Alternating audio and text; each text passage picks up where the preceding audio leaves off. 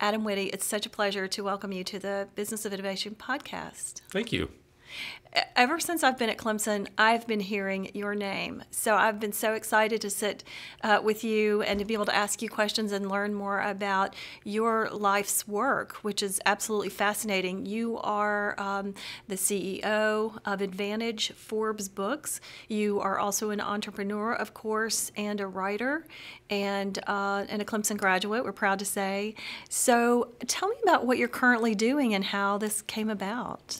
Yeah, so you know, like all great things, they start at Clemson, uh, and so that's really where I got my entrepreneurial start. In fact, the first business that I ever started was in my dorm room at Clemson awesome. in uh, the year 2000. Tell. So uh, I started a company in my dorm room. It was called TicketAdvantage.com, uh-huh. and it was a marketplace to buy and sell sports tickets for fans. So if you were a season ticket holder and had games throughout the season that you couldn't go to then you would put them up on ticketadvantage.com and it would give fans the opportunity to buy really good tickets. Mm-hmm. And ultimately that was a business that that didn't succeed long term and you know one of the things that everybody should know if they're going to get into the game of entrepreneurship is not every venture is a success. Mm-hmm. In fact, you've got to learn from the failures and then capitalize on that and make the next one that much better from what you learned. Uh, but starting that first business at Clemson was one of the greatest experiences of my life. And I had a mentor who said to me, you know, Adam, you've got nothing to lose, right? You're right. not married, you have no children, you, you don't have a mortgage. So mm-hmm. if you've got an idea, why not go for it? Sure. And Clemson provided a supportive atmosphere from the faculty to the dean to the president of the university. Like they were just so excited to help a student who was starting a business while in school. Mm-hmm. And I guess that's more commonplace today, but but in 1999 and 2000, it, it was much more rare. Mm-hmm. And so that was where I got my start. And although that business did not ultimately succeed, uh, I have gone on to create a, a few more businesses that fortunately have. Uh, so the company that I run today, Advantage Forbes Books, mm-hmm. it's one of the largest independent business book publishers in the country. Uh, I started that company in 2005 in Charleston. And that business has spawned a few other businesses, some of which you may not even know about. Uh, and so today, the Advantage family uh, comprises four different businesses. Of course, our, our publishing business mm-hmm. uh, being the core of that publishing and tell me about the others too. Yeah, so uh, Advantage Forbes Books is our publishing business. We mm-hmm. have a marketing, education, and training company. Mm-hmm. Okay. It's called Magnetic Marketing. Okay. We have uh, two software companies.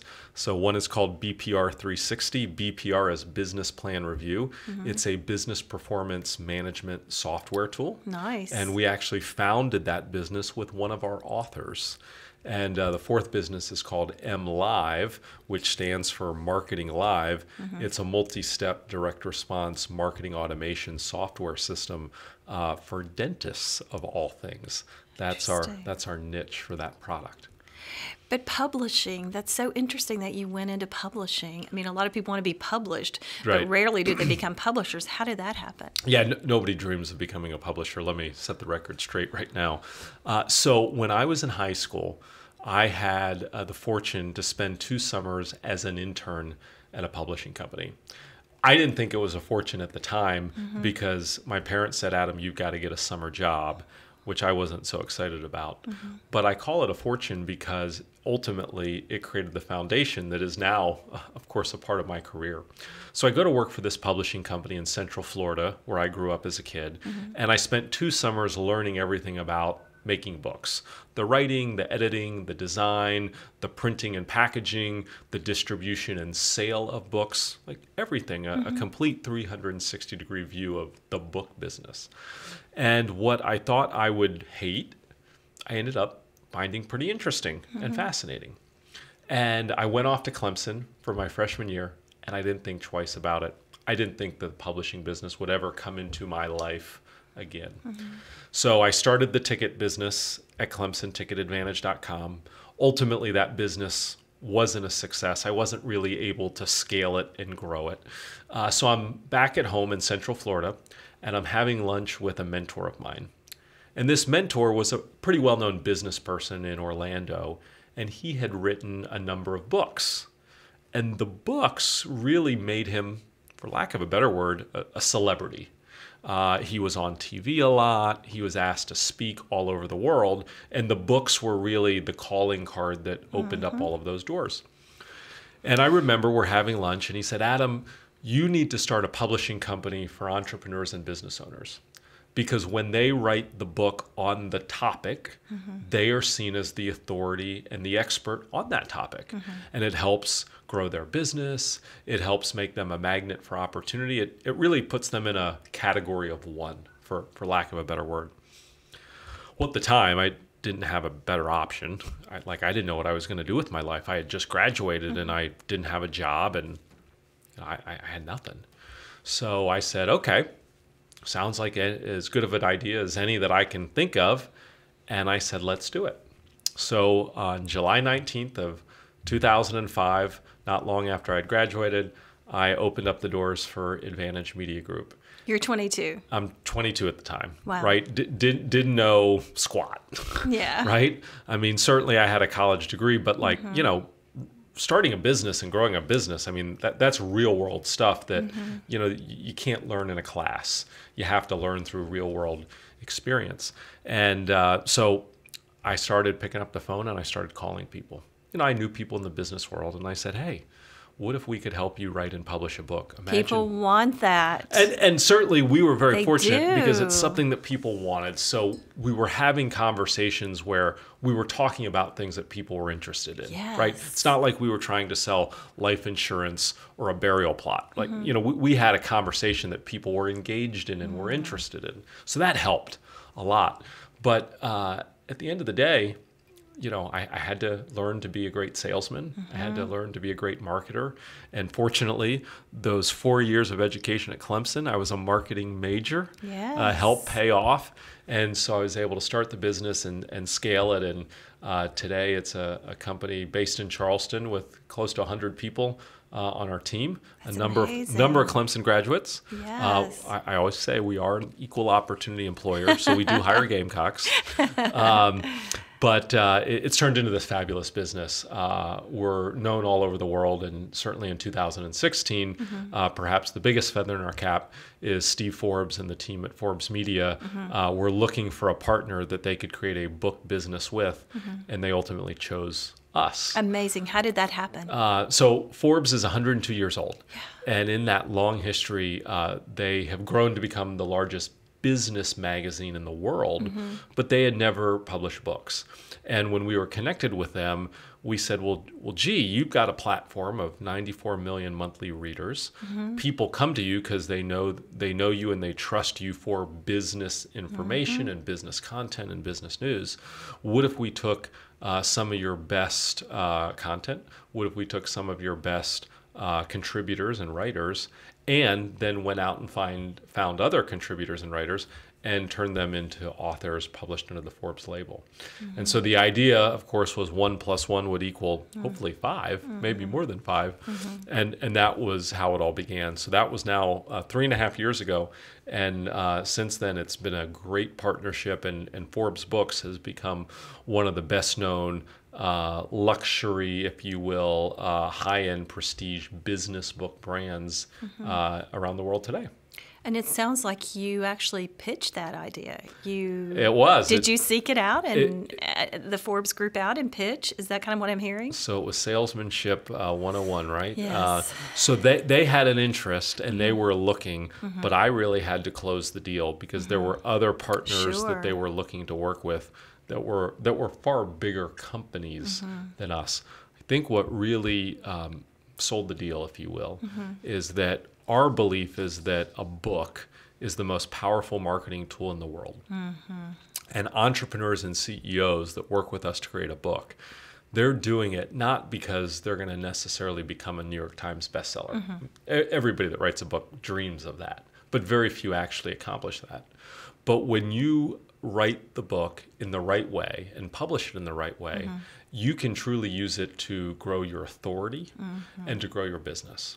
And our business model has always been about it doesn't matter how many copies you sell. Mm-hmm. It's how do you most effectively leverage a book to grow your business because one new customer, one new strategic partnership, one new opportunity Mm-hmm. could be worth more than the combined income of selling Right. tens of thousands of books. Right. right.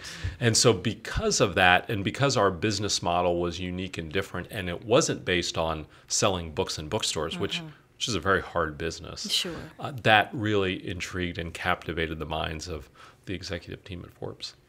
Um, I have so many questions at this point, but I am going to go back for just a moment Yep. to that young person who had this mentor, heard the mentor in there encouraging you to do this. You've seen the inside of a publishing company, and all of a sudden you're hanging a shingle or sign and you're starting a business. How did you? What was that learning curve? What did that look like? And how did you? How did you do it? Yeah, so um, somebody once said to me that entrepreneurs are not necessarily people that embrace and seek risk. Mm-hmm. I think that there's this idea that, oh, entrepreneurs are daredevils and they love risk. Well, no, I don't think there's any person that knowingly says, you know what, I'm going to take all of my money and I'm going to take all of my energy and I'm going to just, you know, hope and pray, mm-hmm. right? Nobody wants that.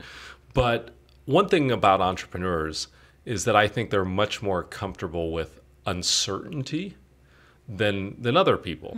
And so for me, it's not as though I was a risk taker and that's what led me to go out and start a business. But I've always had this attitude of "Uh, it'll be okay. Yeah. We'll figure it out. Can figure it out. It, Can, it, it'll we'll make it work, Yeah. right? Don't don't worry.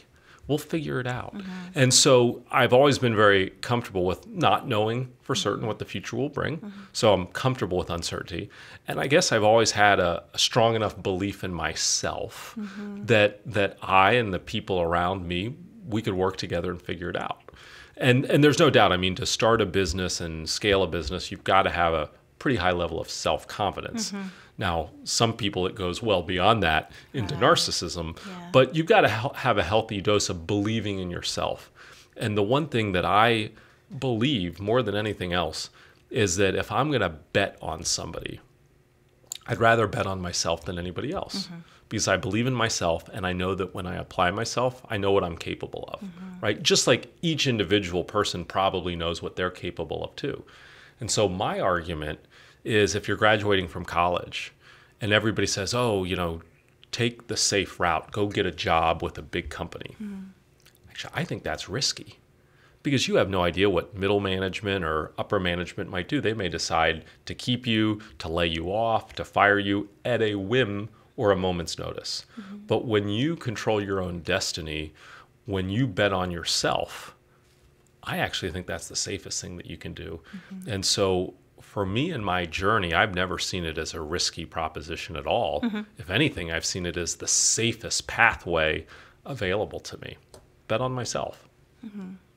So you were able to just roll up your sleeves and figure it out in terms of how to get that book written and co- collect the, the content from the conversations and and so forth. You had your mentor. You went out and sold the idea. Yep.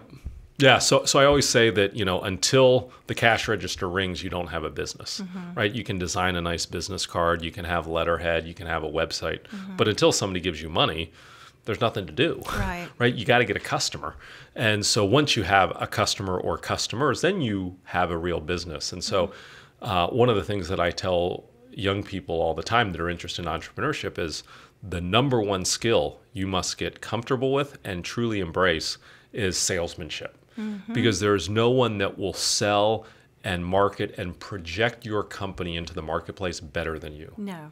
even if you don't see yourself as a salesperson. No. there is nobody that can sell a business better than the founder. And so entrepreneurs that really embrace and excel at selling and, and salesmanship i'll call it mm-hmm. those are the ones that i believe have the most success.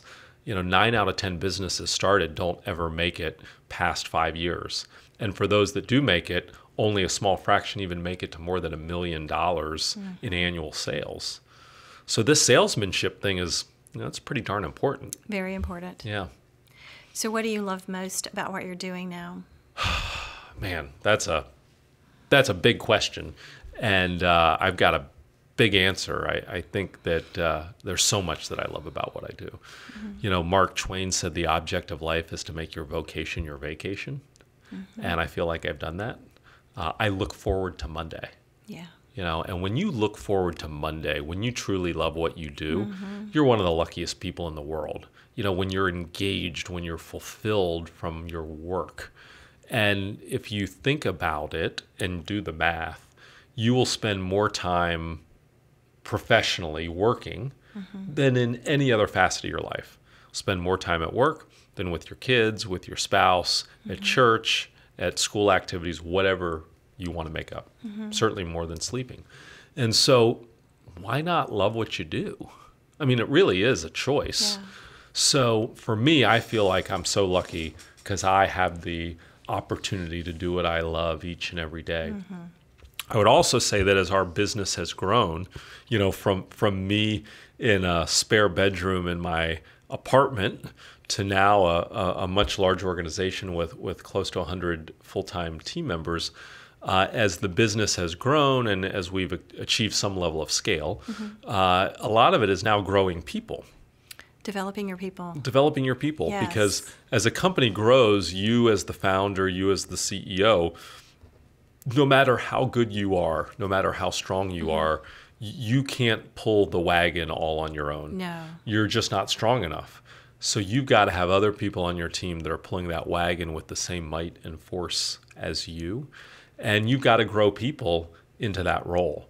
A, a mentor of mine, he said, Adam, your job is not to grow a company your job is to grow people mm-hmm. that grow a company.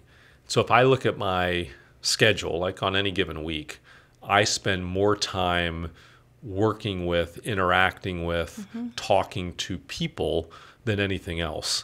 And as a company grows, the leader is most likely going to spend more time thinking about the business and interacting with people on the business rather than doing things in the business, right? Mm-hmm. You know, you, you've got to let go of all the things you do if you want to grow. You've mm-hmm. got to build a team of people that can do the things that you once did. Right. And as the leader, you really have to focus on growing people, creating managers that can lead other people. That that's ultimately I think how you create scale.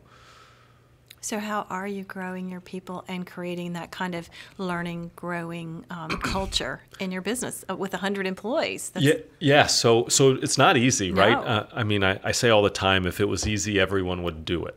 Yeah. um, growing a business is not easy uh, because there's so many things that have to go right. You know, if you look at some of the most successful companies in world history, there's also this huge dose of luck that plays into it as well, right? I mean, if Steve Jobs had come along 50 years before, would he be the named person that we all know today? Well, probably not, because technology and innovation wasn't at a point at that place to capitalize on his unique talents. So, you know, growing and scaling a business, there's there's a part of it that's hard work. Uh, and then there's a there's a part of it that's luck too. I, I don't want to dismiss that. Uh, so how do you grow people, right? Well, number one, you you you you, you genuinely care about them, mm-hmm. right? Uh, and and you got to spend time with them, right? Just like kids, don't tell me that I love my kids with all my heart, and mm-hmm. then I look at your calendar and you spend no time with them at all mm-hmm. during the week. You know, your calendar tells me what your priorities are yes, it does. Right? And your checkbook. and your checkbook your calendar and your checkbook tell you what your priorities are and so to that point how much time are you spending on growing your people? And how much are you financially investing in growing your people? Right. through education through training etc so i try to spend uh, a lot of time especially with my my key people right? I, I have a structured scheduled one-on-one with every senior leader on our team uh, every two weeks. So every month I got to have two one-on-ones where I'm doing a, a check-in, uh, and we're t- of course we're talking about business things, but I'm also checking in like how are you personally? What's your professional high? What's your professional low? I love that. What are you most excited about um, personally? You know what's not going so well personally? Yeah. Anything I can help you with, right? Because That's perfect. because what you do day in and day out from nine to five carries itself home and what mm-hmm. happens at home mm-hmm. from from you know 5 p.m until 9 the next morning guess what? It carries itself back into your professional work as well. And so creating that that work life a lot of people call a lot of people talk about work life balance. Mm-hmm. And i always say as an entrepreneur you got to throw that out the window because if you want to start a business and scale a business forget about work life balance. What matters to me more is work life purpose. Mm-hmm. Because when you love what you do, you don't look at the clock. Yeah. You don't care. And if you can create a team of people that truly are engaged and fulfilled in what they do, mm-hmm. then they're not going to pay as much attention to the clock either.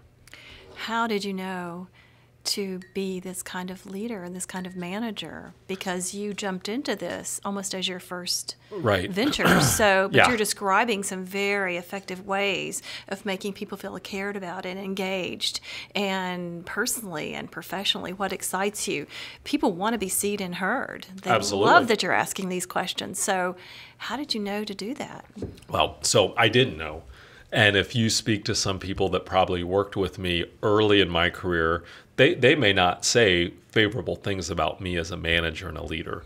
Uh, I don't think good leaders are born. I think good leaders are, are made, and good leadership is made by applying yourself, learning from mentors and peers, and having the humility to look at yourself in the mirror and fully assess what you're good at and what you're not so good at. And either A, work to improve those weaknesses or completely delegate it to somebody else so you're not doing those things, right? So for me, it was mentors, Yes. right? Uh, and coaches, mentors and coaches, Sure. uh, peer groups, Yes. and a lot of self study. Yeah. I, I think that, that the greatest leaders are the ones that spend a lot of time working on themselves Yeah. and, and constantly applying themselves to learn more. So, you know, I read 35 to 40 business books a year, um, which uh, may not seem like a lot on the surface, but but the average American it male after high school graduation will not complete another book in their life. no. Is that a true statistic? That is a true statistic. So, um, readers are leaders, right? Mm-hmm. You know, applying yourself, reading, consuming great content to nourish your mind. So, I spent a lot of time working on myself. And, you know, as good as a leader Mm-hmm. as maybe sometimes I want to think I am, the truth is I still have a long way to go. So you love learning. Mm-hmm. You've definitely had mentors. You're a good listener, and you really take to heart what people are, are, are telling you and advising you, f- as evidenced of, from the very first um, endeavor you've had in your career. Yeah, they, they they say that uh, God gave you uh, two ears and one mouth, and you should use them proportionally. Yeah. right? And so, yeah, I think good leaders are good listeners. Mm-hmm. And what makes it hard, especially when you're growing a business and, and you're kind of inventing it as you go. Yes. Like, I mean, in many ways, we are building the airplane as we're flying it. Sure. People are going to tell you stuff that you don't want to hear. Mm-hmm. And and this was hard for me. I think it's hard for everybody, right? And so every leader, every manager wants to hear the good stuff that's going on. Mm-hmm. And when we start hearing the truth, which is sometimes the bad things, the things that aren't working so well, mm-hmm. you know, that that smile turns into a frown. And if we don't watch ourselves, then we we teach people not to tell us the bad stuff. Very true. And now we only have 50% of the story. Mm-hmm. It's hard to make really good decisions when you only have half of the information available to you. Mm-hmm. Because the other half, that's the stuff that's not working or the bad stuff, well, people are afraid to tell you because perhaps of the way you'll react or mm-hmm. you know, he doesn't really want to know the truth. He just wants to hear what he thinks you mm-hmm. know he wants to hear. You, you've heard the term yes men and yes women. Mm-hmm. That's cancer in an organization because all of the challenges and there's plenty in every company they get swept under the rug. Yes. well, if you don't know what's going on then you can't do anything about it How do you encourage learning in your organization in terms of reading? Are there are there people that gather for Mm-hmm. article reviews or book review? I mean, you're in the publishing business. I'm just curious if that's part of it. So we demand it. And that might seem like a strong word to some people, but um, cultures are created by design, not by default. Now, what I should say is great cultures are created by design, Sure. not by default. Poor cultures are typically just the default of mm-hmm. whatever it is it is. And so I intentionally made the decision that I wanted my organization to be a learning culture. Mm-hmm. Right? I wanted to have people that were learning and growing. Because because if a company's growing like this and the people in the company are only growing like this, then mm-hmm. the company is going to outgrow the people, which means you're going to have to replace those people. Well, and that's very expensive to do. However, if you really focus on being a learning organization and you create guardrails in your business to really demand and enforce that people are professionally developing themselves, mm-hmm. then the people in that company can grow at the same or greater rate as the mm-hmm. company, which then means that you can keep people engaged and working in the organization for a very, very long period of time. Which is good for the business, and it's also it's good for the culture, and it, it's also good for them, right? Yes, it is. Because if a if a person comes to a company and they grow and they have the opportunity to grow with the company, mm-hmm. both sides are are made better off. So that's what we try to do is we require 120 hours of professional development mm-hmm. each year from every Advantage team member. Okay. Uh, we provide every team member with a thousand dollar continuing education credit, mm-hmm. so they can use that money for books, for courses, for seminars. Uh, it ju- there just has to be a direct path of how learning this skill or improving this skill directly has a positive impact for them and the, the company. They share that back. That's right. They share that back. Okay. And um, and we, as a core value, one of our five core values as a company, is commit to lifelong learning. Okay. And it works for the business we're in. Our, our core business scale is writing and publishing business books. Yeah. So some of it's just practicing what we preach. And I know that a lot of organizations want employees to take ownership, but they don't always do the kind of thing that you're talking about. So you're putting the money, you know, there where uh, your mouth is, and you're saying, um, you know, use this in a way that best serves you because so much of learning is vertical learning. Of course. So, Yeah, you know, one of the things I say all the time is if somebody on your team comes to you and says, "Hey, you know, I'm I'm due for a raise," then I would always ask the question, "Great, show me how you've invested in yourself for the last 12 months. Show me your learning plan." And if they have nothing to show, Yeah. it's pretty simple. Well, you didn't invest in yourself. Why are you asking me to invest more in you? right, right. So you're putting it back on them yes, you own this. right? You you got to take ownership for this. Yeah. Whereas if you come to me and say, "Let me show you all the ways that I have invested in myself. I read these books, I took these classes, I went to these seminars, I mm-hmm. attended this and this and this and this and this." Right. Well, now you can show me somebody that's serious about themselves. They're a student, they mm-hmm. apply themselves, they mm-hmm. want to be better. Well, heavens to goodness, those are the people I would want to be working with. Those are the people I would want in my company. Do you find that people are drawn to your culture because of what you do, the publishing, the books, the content that's everywhere? Mm-hmm. I, I would think you draw a certain. Absolutely. I mean, every company is going to draw a certain person based on the what they do. Sure. Right. So you know, if, if you're if you're uh, a golfer or you play tennis, then you might be drawn to work for a company that's in that industry. Go, well, that's a passion of mine. So, so, so I guess that's obvious. However, I think on top of that, um, you know, what draws people to us is is they're lifelong learners. Uh, they believe in the family environment that we're trying to create, right? I'll use an example that's close to home. Okay. So if you look at the culture that Dabo Swinney has created with the Clemson football program, and you compare that to the culture that Nick Saban has built at the mm-hmm. University of Alabama, both are championship cultures Yes. both are winning cultures. Neither one is right or wrong, but they're extremely different. Different. The player that wants to come to Clemson is not necessarily the player that wants to go to Alabama mm-hmm. because they're they're very different.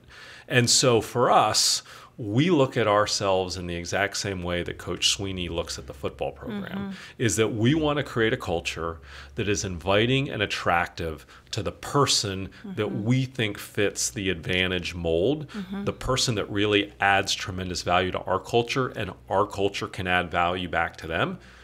And for the people that don't like what we do, we hope we repel them right? We hope they're not attracted to us Yes. at all. Mm-hmm. And so, yeah, if you have a great culture, uh, you're going to attract your person. Look, the the thing that you know and I know, and I think probably everybody watching this knows, is that great people, like really talented people, mm-hmm. they want to work with great companies and they mm-hmm. want to work with great people at great companies. You know, A players don't say, gee, sign me up to go work with a C organization. Right. No.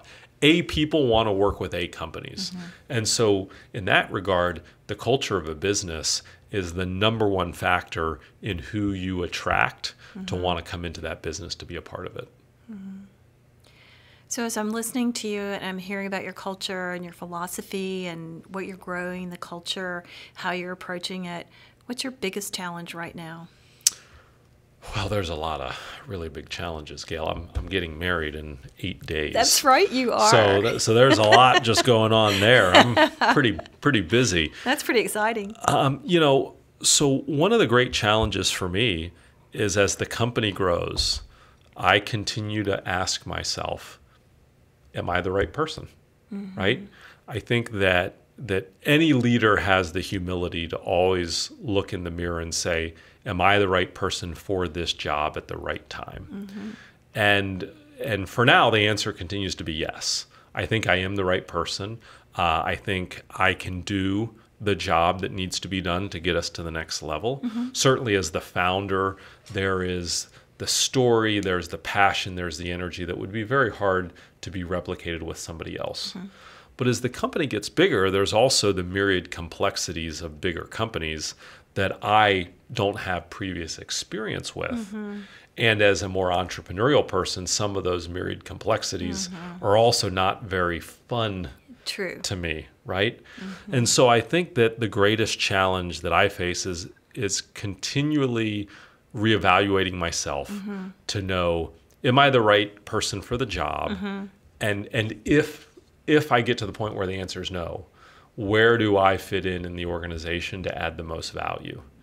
And constantly, you know, on an annual basis, asking yourself that, and then to take it to another level, you know, asking people that will tell you the truth Right. uh, won't sugarcoat it. They will tell you the truth. Asking other people the same thing: Am I the right person for the job? Uh, and if I am, Mm-hmm. what skills do I need to develop over the next year in order to elevate myself to continue to to do the job well? So Mm-hmm. Which I think is- self-reflection, right? So, which is a question for anyone in any role, really. To, It is. To be asking people around them, what do you like most about yourself as a leader, and what do you struggle with? What's the biggest challenge, or maybe something you don't like as much about yourself? Uh, what I like most about being a leader uh, is that I genuinely like people and I genuinely care about people mm-hmm. and, and I genuinely want to see people grow mm-hmm. and succeed. Mm-hmm. And I think that in order to be, um, I won't say to be an entrepreneur, but in order to be a, a leader, and being an entrepreneur and being a leader aren't always the same thing. Sure. But but in order to be a leader, I think you truly have to have a heart for people, right? I mean, you you look at Coach Swinney. I mean, he has a heart for his players um, that that is so big, and it emanates out of him, right? You can see it in every it. press conference. You can see it on the sidelines. You can see it in interviews. And so he, he loves what he does because he loves the lives he has the ability to shape.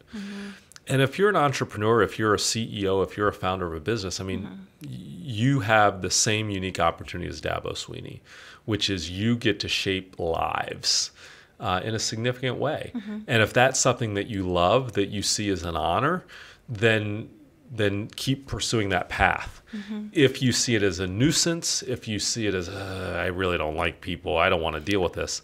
Yeah. Well, that's okay, but find somebody that can come in to the organization that is really good at that. Yes. That can do it, right? And you look at the difference mm-hmm. between Dabo and some of the coaches at Clemson before him, mm-hmm. and you can see a pretty big difference. That's true. I mean, it's not like there's a big surprise as to why we've had this success over the last mm-hmm. decade that we've had. You know, who the leader is mm-hmm. matters. It matters a lot. and I um, would add the same is true of our president. Absolutely, The right? You- same, almost kind of emanating out of how much he cares. You can see the passion and the energy from Jim Clements. I think his question every day is, "Who can I serve today?" Absolutely, Yeah. right? And and when you see yourself as a servant-based leader Mm-hmm. versus a what can people do for me to help me get my job done, Mm-hmm. then your whole outlook changes. So I think what I like most is is the ability to work with people. I mean, you know, I couldn't work from home. I, I couldn't work on an island by myself Mm-hmm. because I get energy from people. Th- There are people in the world where being around others drains their energy. It's true. And there's others where being around people really elevates and, and, and drives up their energy. So you've got to know which of the two you which of those two buckets you, you fall into. Um, you know, what do I what do I like the least about what I do? Or about yourself as a leader. Uh, well, I, as as what do I like least about myself as a leader is, you know, it it it can be it's very difficult to hold yourself accountable all the time. Mm-hmm. And what I mean by that is, you know, when when somebody gives you bad news, say in a, in a professional context in the mm-hmm. office, somebody gives you bad news, something that you don't want to hear.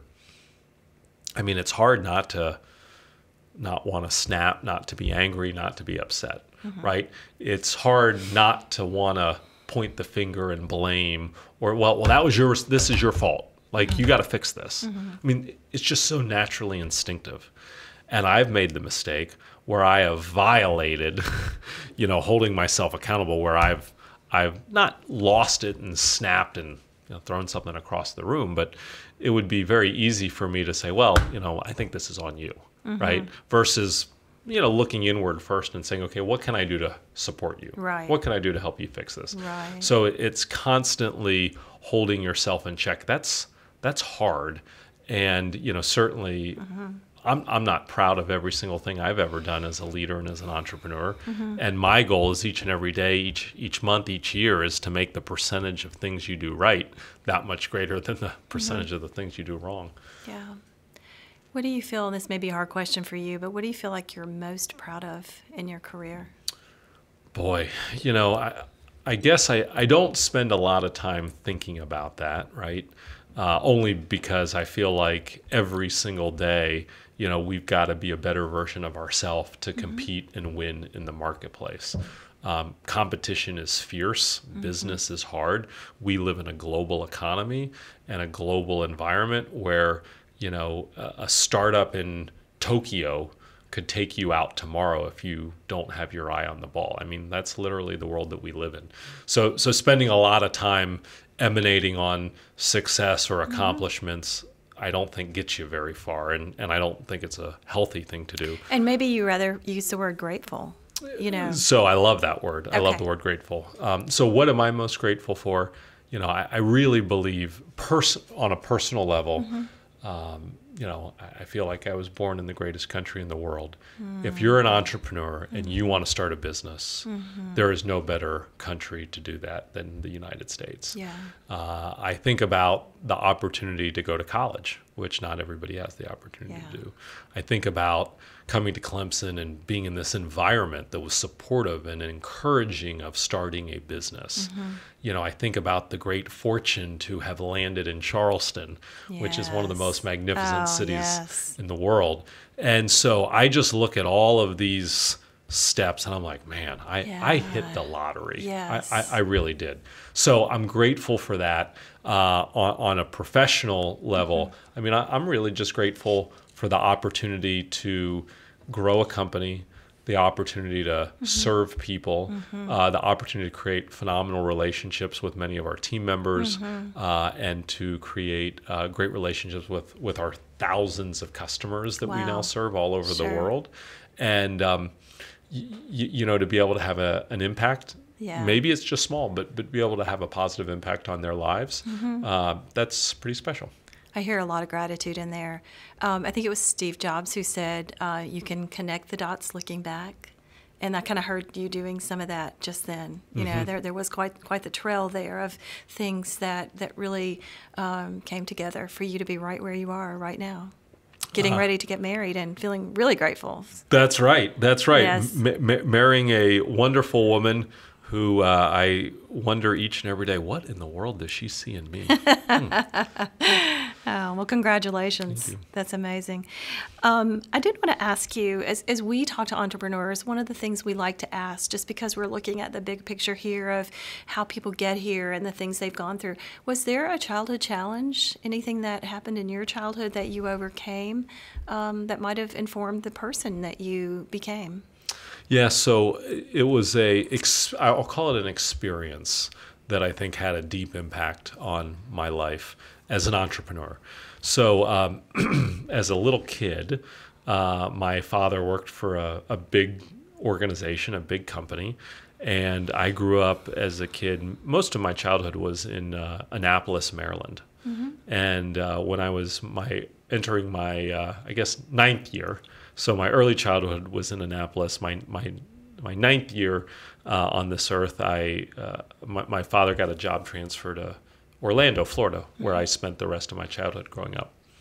And maybe a year after this company had uprooted our entire family and moved us, uh, there was a corporate restructuring, mm-hmm. and he and a number of the people in the unit of the business he worked in uh, were were reorganizationed and lost their their jobs. Mm-hmm. And so I remember as a kid, you know, I was 10 years old, maybe I was 11, mm-hmm. and I remember like having a family meeting in the living room where my mother and father shared with my brother and I that, you know, our dad lost his job and it was going to be okay and we had savings and like there was nothing to worry about, but things would just be different. Mm-hmm. And uh, I remember that experience uh, pretty viscerally.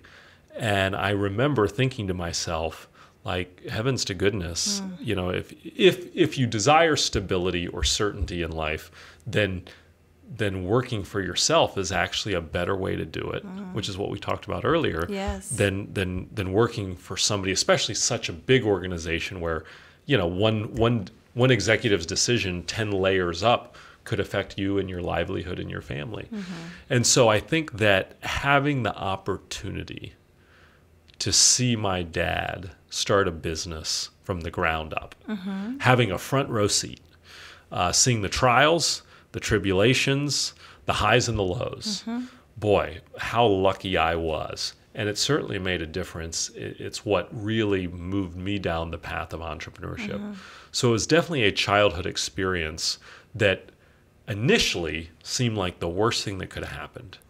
And when you look back, you say, you know what? That was the best thing wow. that could have happened. Mm-hmm. I can't imagine how different my life would be today mm-hmm. had that not happened. So, whomever that executive was at AIG, you have my greatest gratitude yeah. for laying off my father. Amazing. Yeah. Amazing how it influenced you. I wanted to ask you because we are the business of innovation here, mm-hmm. how creative you consider yourself to be? Mm-hmm. So, um, scale of one to ten. So I, I, I would say I'm a pretty creative person. Mm-hmm. Um, I am probably m- as much or more right brain as I am left brain. Mm-hmm. Uh, remember, I'm a marketing person. I'm a salesperson. Uh, I like to think. I like to create new products. I like to create new services. Mm-hmm. Uh, I like to imagine what's possible. Yeah. The, the, vision thing is one of the favorite parts of my job as a as a CEO. So probably from a creativity perspective, I, I, I probably skew a bit higher. Now I will say that uh, I'm really good at scanning the business environment and finding great ideas mm-hmm. and then transplanting them to our companies. Sure. So I don't take credit of being the originator mm-hmm. for many of the great ideas that we've implemented at our company, but I do spend a lot of time scanning and looking and then saying, okay, how can we take what somebody's doing in manufacturing mm-hmm. and apply that to publishing? Or how can we take what somebody's doing in film and TV and apply that to software. That's really a lot of fun. And if you think about um, the future and you think about like what capabilities and what skills do people need to really prosper in the future. I mean, between robots and artificial intelligence, the rote pieces of most businesses will be automated within the next 10 years, maybe mm-hmm. 20 years, right? And so if you're not a knowledge worker, mm-hmm. if you don't have creativity and the ability to think very innovatively, mm-hmm. then I think you're going to have a hard time finding an opportunity or creating an opportunity for yourself, right? So, this importance of innovative thinking and strategic thinking and creative thinking I, I believe with what technology will do becomes even more important now than at any other time in the history of our world. So you started down this path already, but tell me what innovation means to you. Yeah, so I think innovation to me is really um, looking at the marketplace. So, whatever kind of business you're in or you want to be in, looking at the marketplace and saying, how can we create something? How can we add something? Or how can we do something different that adds more value to mm-hmm. somebody's life than exists today? Mm-hmm. And look, I mean, it doesn't have to be transformational mm-hmm. things, right?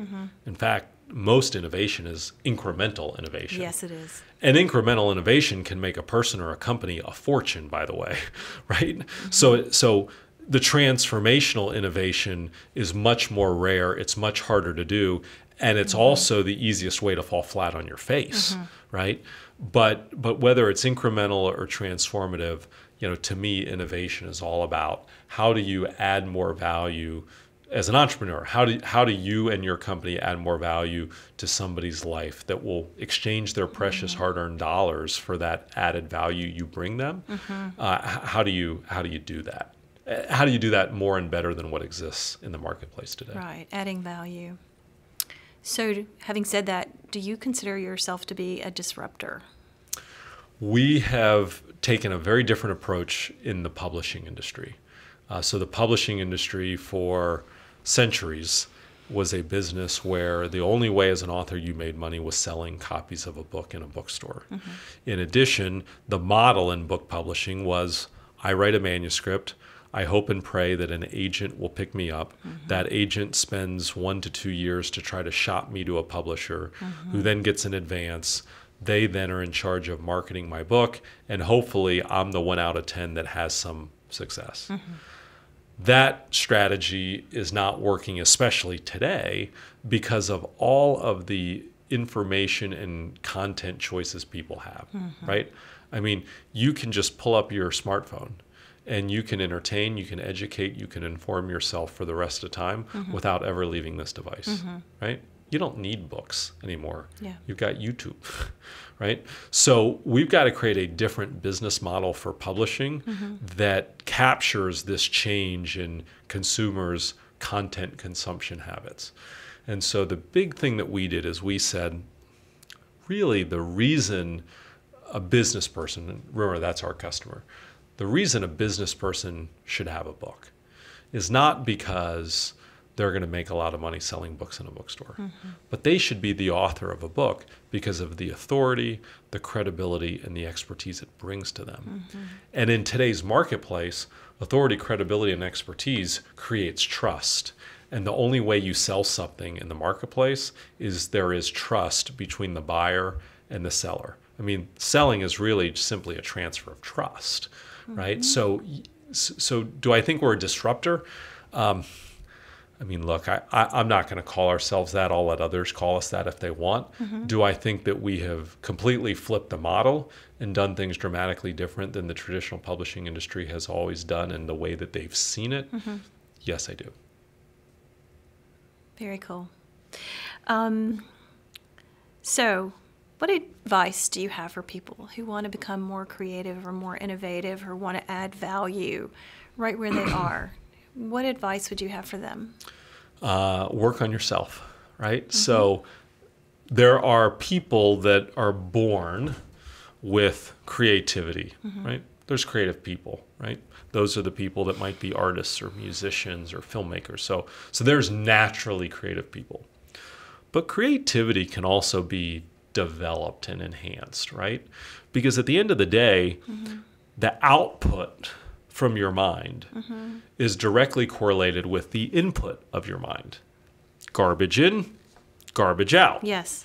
You know, goodness in, goodness out, right? And so, you know, what are you reading? Uh, how are you educating yourself? What content are you consuming that has the ability to then come out as something that's an innovative, an innovative idea, creativity, Yeah. etc. So, if you want to become more innovative and creative, you can't just like will it to happen. Yeah. But one of the things that you can do, I believe, is you can immerse yourself, you can study, and you can put information in your brain Mm-hmm. that ultimately can can turn into more creative and more innovative output. That's great advice.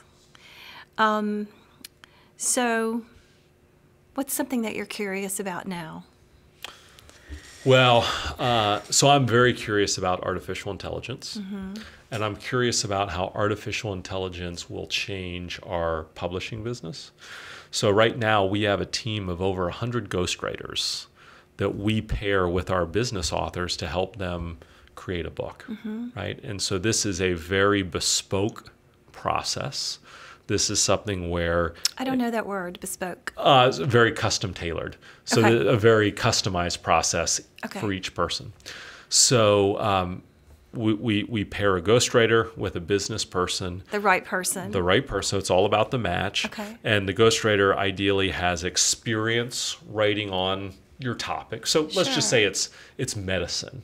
Okay, if, if you're writing a book that's medically related, then we want to have a ghostwriter that has experience writing on medical topics. Mm-hmm.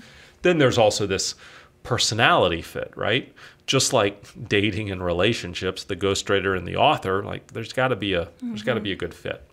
And so it's a very custom process and not every time is it a success. Just like if you think back when you were younger to all of the different first dates you had, mm-hmm. there were a lot of those first dates that didn't turn into a second date because it just wasn't a match. Sure. That's okay. Well, the same thing's true in our ghostwriting business. Mm-hmm. But boy, imagine with artificial intelligence, if you had a computer that you mm-hmm. could talk to that could then translate your conversation into a beautifully ghost written manuscript. Interesting.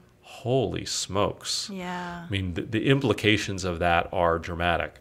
I was having lunch earlier this year with a kind of a business leader in the AI, artificial intelligence realm, mm-hmm. and he was saying that he believes in the not too distant future there will have to be a disclaimer on content if it's created by artificial intelligence. And so, literally, just like you have disclaimers on food packages that say mm-hmm. this contains GMOs or this contains mm-hmm. triglycerides, well, you would have a disclaimer on content that says created by artificial intelligence. That's So, fascinating. Right? Interesting. Now, I, I don't yet know is it good or is it bad? I don't have Mm-hmm. an opinion. Mm-hmm. I just know that it's something that is going to transform and change the content business in a significant way. That's probably what I'm most curious about right now. Mm-hmm. Yeah, that's fascinating. So, um, what do you hope to accomplish going forward? You're young and you've started this, and it's just taken off Yeah. in an amazing way. Your accomplishments are so many. What do you want to accomplish? Well, I I just want to keep doing what we're doing and do it better, right? Yeah. Um, we we've got a five year strategic plan for our company. We we just finished our last five year strategic plan. Uh, we completed it uh, about a year ago, December of 2018. So we are uh, 11 months into our new five year plan. So at least for the next. Uh, four years and one month, I, I know what I've got to do. I know what our company has to do to get to the next level of where we want to be. Um, so that's certainly what I'm focused on. That's what I'm uh, excited about. And certainly that's kind of where all my time and attention will be, at least for the next four years and one month. So, best advice you ever received? Boy, the best advice I ever received. Talk about a whopper of a question. Um, there's a lot of good advice that I have received. Um, you know, I, I would say that I, I go back to this comment that I said earlier in the in the program, and that was your job is not to grow a company. Your job is to grow people that grow a company. Mm-hmm. And my goal when I started my company in 2005 was like I wanted to create a real business. You know, mm-hmm. I, I wasn't trying to be a lifestyle entrepreneur that you know mm. worked from home and had passive income or could travel when I wanted or mm-hmm. do whatever I wanted. Like I, I wanted to create a real business with people and infrastructure and all that. Why I don't know, but but that's what I wanted. And so as we've done that, and as we still think there's a lot more work that we have to do, you know, what I realize is that, you know, to, to get to a business that's big enough that needs 200 people or 500 people or 1,000 people or more than that. It's much more about growing people than it is about growing the business. And so I really do think that if you are an entrepreneur and you want to scale a business, mm-hmm. Your job is to grow people, not a company, mm-hmm. is probably the most applicable and beneficial advice, certainly for me, that I ever received. Mm-hmm. How do you want to be remembered? How do I want to be remembered? Heavens to goodness. I mean, these are deep questions, Gail. uh, you know, I have not spent much time thinking about that.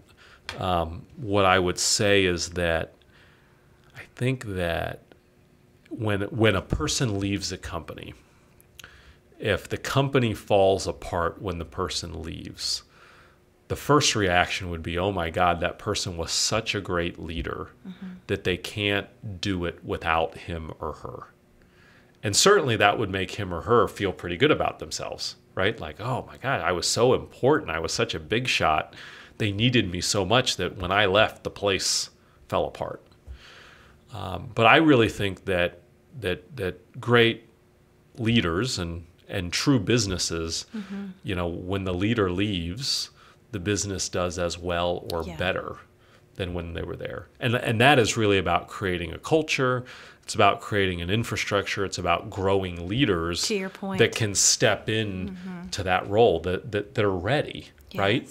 Um, if if I were to get hit by a bus tomorrow, mm-hmm. if the company tanks, then I haven't done a very good job of truly building a sustainable, mm-hmm. enduring organization, mm-hmm. right? So that to me is, I would say, I don't know that I'm proud of it because until I'm wiped off the map, I guess we don't know how the company does without me. Mm-hmm. But certainly, one of the things that I would be most proud of mm-hmm. is that if the, if I were to depart for any reason, that the company continue, could continue to prosper and grow sure. long after I'm gone. Wonderful. Um, you are incredibly inspiring.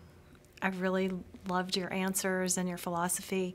What question should I have asked you that I didn't? Mm, what question should you have asked me? Um, well, uh, you know, I, I, think that one thing you could have asked me, and I'll answer it for you since I brought up, is, uh, and I guess this is appropriate for me as a Clemson grad.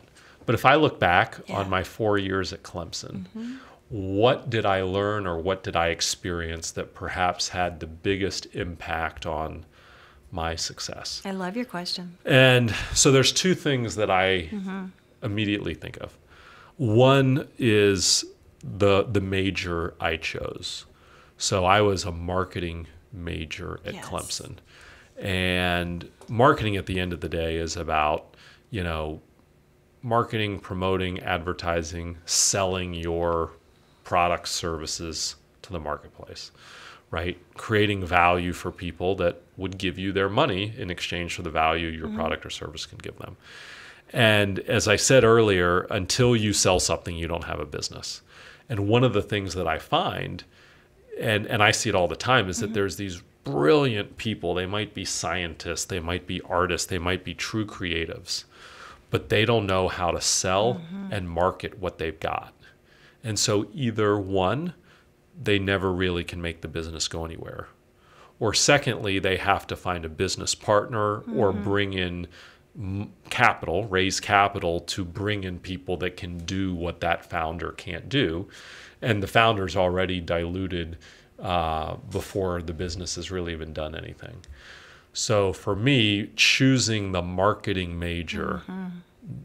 knowing that I would then start a business what a great setup yes for for starting your own business because you got to be able to market and you got to be able to sell yeah. so that would be the first thing uh, the second thing and they really tie it together is when i was at clemson i was a tour guide as part of the clemson university guide association and so i would give tours to prospective students mm-hmm. uh, from all over the country that were coming in for a visit which interestingly, my fiance Erin and I both were tour guides. She at the College of Charleston, wow. me at Clemson. So that's a, a fun fact. But the um, the experience of taking a group of strangers could be 50 to 100 people mm-hmm. And in two hours, the challenge of bonding with them, building rapport with them, mm-hmm. and giving them enough information to get them excited about wanting to bring their stu- their child or the child wanting to come to Clemson. Mm-hmm. Like that's a big task. It's a big sure. undertaking. That's selling. that's salesmanship. Mm-hmm. And so before I had even graduated, I don't know how many tours I gave over 3 years, maybe 50 or 100, but over those 3 years I had 50 to 100 live auditions of what it would be like to sell in the marketplace. Mm-hmm, mm-hmm. That was invaluable experience. Mm-hmm. Very interesting. Um, and I imagine, I'll just, uh, one last question, but I imagine as you, uh, self described right brain, sat in your marketing class and probably had a really good marketing professor and heard a lot of, you know, kind of the, the thinking and the strategies and how marketing works and the visionary aspect and all of that, the psychology of it that must have really been uh, kind of an, uh, a wonderful um, uh, space for you to be in, I would think. Yeah, it, it, helped a lot. Yeah. Right now, now, I mean, at the end of the day, the real world's the real world. Yeah. No matter how good of a professor you have, no matter how mm-hmm. good a class is, it's still a classroom, mm-hmm. right? But if you can take what you learned in the classroom mm-hmm. to better prepare yourself for the real world, then that's the whole point of education and the pursuit of knowledge and having the ability to get set up and then at Clemson as a as a guide to be able to essentially practice it. Mm-hmm. That was pretty neat too. How strong is the Clemson brand these days? Uh, even more strong than when I was a student. Yeah, it's pretty amazing, isn't it? It is, right. Adam, I can't thank you enough. Thank you, Gail. So inspiring. What a great pleasure. Yeah. And go Tigers. And go Tigers.